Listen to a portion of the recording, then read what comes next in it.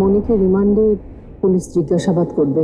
বিমান মানে ওই যে মেরে ধরে পুলিশ যে আসামিদের মুখ থেকে কথা বের করে সেটার কথা বলছো? না না মা। মুশকিলটা হয়েছে কি? এখন রিমান্ড মানে আমরা শুধু পুলিশের নির্যাতনকেই বুঝি। অথচ আমাদের দেশের আইন অনুযায়ী রিমান্ডে থাকা অবস্থায় আসামির সঙ্গে পুলিশের আচরণ সম্পর্কে আদালতের কিছু স্পষ্ট নির্দেশনা রয়েছে মা।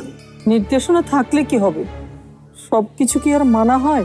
এই যে পত্রিকাতে যে দেখি সব কি মিথ্যা নাকি? সেটা আমি অস্বীকার করছি না মা। মনিকে নিয়ে সেজন্যই আমার চিন্তা হচ্ছে। না রুনা। আমি অবশ্য এত চিন্তা করছি না। মনির উপর আমার ভরসা আছে। অনেক শক্ত। ও- ও অনেক শক্ত মনের একটা মেয়ে।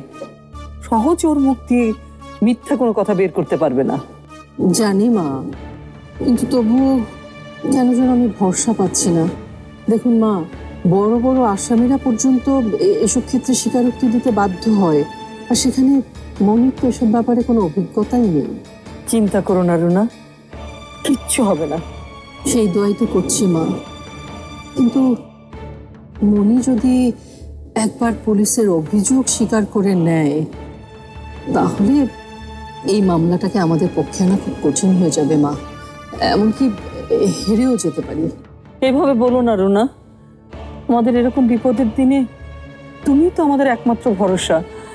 তুমি যদি এভাবে ভেঙে পড়ো, তাহলে মনি ও কাকে দেখে সাহস পাবে বলো তো? আমি, আয়ান, আমরা তো আগে থেকেই ঠিক করে রেখেছি যে তুমি মনির হয়ে আইনি লড়াইটা লড়বে। তোমার থেকে ভালো তো কেউ মনিকে সেভাবে চেনে না রুনা? মনিকে চিনি বলেই আমি রিমান্ডের ব্যাপারে এত ভয় পাচ্ছি। ও যদি পুলিশের ভয়ে না না না। এত চিন্তার কিছু নেই তুমি শুধু শুধু এ সময় আবার কে এলো? মা মা আপনি বসেন আমি দিচ্ছি। যমুনা স্মার্ট রেফ্রিজারেটর স্মার্ট লাইফে স্মার্ট রেফ্রিজারেটর।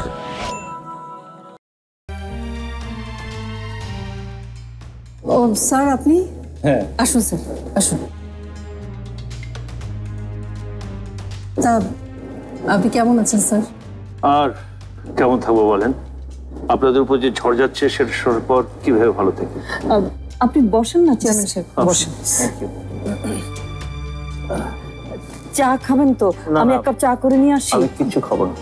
এদিক দিয়ে যাচ্ছিলাম ভাবলাম মনির মামলার খবরটা কি সেটা জেনেছে মেয়েটার জন্য খুব চিন্তা হয়। রুনাও একই কথা বলছে। ওকে তো রিমান্ডে নিয়েছে তাই না? জি স্যার। না আমি বুঝলাম না। রহমত তো অনেক সুনাম শুনেছি। মনির জামিন না হোক রিমান্ডটা তো অন্তত আটকাতে পারার কথা। আমিও ব্যাপারটাতে খুবই অবাক হয়েছি স্যার। তাই আসলে সিদ্ধান্ত নিয়েছি যে ওনাকে আর রাখব না। ওহ এখন এত অল্প সময় উকিল পাওয়াটা রুনাই তো মনির হয়ে আইনি লড়াইটা লড়বে। ও সব তৈরি করে ফেলেছে। ও তাই নাকি? তাহলে তো খুব ভালো। যদিও মনির পক্ষে মামলাটা আনা খুব কঠিন। তারপরেও না আপনার যে কোনো সাহায্য লাগলে আমাকে প্লিজ জানাবেন। অবশ্যই জানাব স্যার।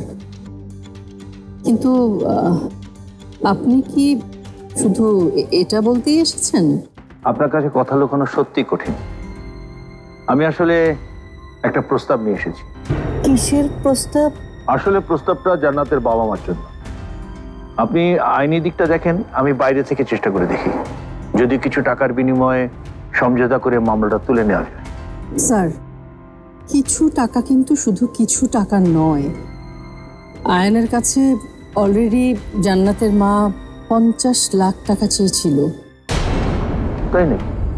এ তো অনেক টাকার ডিমান্ড। তারপরও মনির মামলা মোকদ্দমা ঝামেলা থেকে মুক্ত হওয়ার জন্য আমি টাকা দিতে রাজি আছি। মনিকে বের করার জন্য আপনি পঞ্চাশ লাখ টাকা দেবেন? কিন্তু কেন? মনি তো এ টাকা শোধ করতে পারবে না। ব্যবসায়ী সবসময় ব্যবসায়ী। মনিকে নিয়ে আমি বুঝে শুনিয়ে প্ল্যান করেছি। আমি চাই আমার পরে মনি কোম্পানির হাল ধরুন বলেন কি স্যার?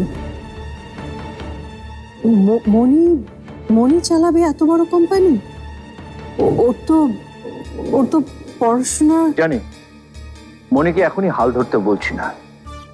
ভার নেওয়ার জন্য ওকে প্রস্তুত হতে হবে। সেজন্য দশ বছর লাগলেও আমার সমস্যা নেই। যার ভালো কাজ করার দৃঢ় ইচ্ছা আছে তাকে যোগ্য করে গড়ে তোলা কঠিন কিছু না। কিন্তু আমার একটা কথা চেয়ারম্যান সাহেব। রুনা তো মনির পক্ষ হয়ে মামলাটা লড়বে।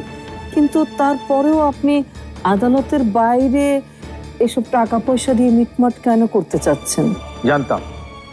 আপনাদের মনে প্রশ্ন আসবেই দেখেন, মনি বিশ্বকাপে চান্স পেয়েছে ঠিকই, কিন্তু এই মামলা শেষ না হলে সে খেলতে পারবে না।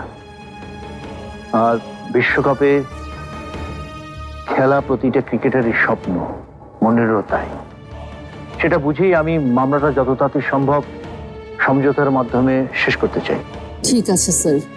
কিন্তু মনি সেটাতে রাজি হবে কিনা সেটা আগে নিশ্চিত হতে হবে। এখনই মনিকে কিছু বলার দরকার নেই। আগে আমি জান্নাতের বাবা মার সঙ্গে আলাপ করে সমঝোতার একটা চেষ্টা করি তারপর না হয় মনিকে বলব। এবার আমি বুঝেছি। মানে একদিক দিয়ে রুনা আইনি লড়াইটা লড়বে আর আদালতের বাইরে আহ, সমঝোতার চেষ্টা করা হবে। মানে দুই দিক দিয়ে চেষ্টা করলে আসলে মনের জন্য নিশ্চয়ই ভালো হবে তাই না? হ্যাঁ মা আপনি একদম ঠিক বুঝেছেন। মাশরাফি জুনিয়র টিভিতে প্রচারিত হওয়ার পূর্বেই সম্পূর্ণ নতুন এপিসোড দেখুন শুধুমাত্র দীপ্ত প্লেতে।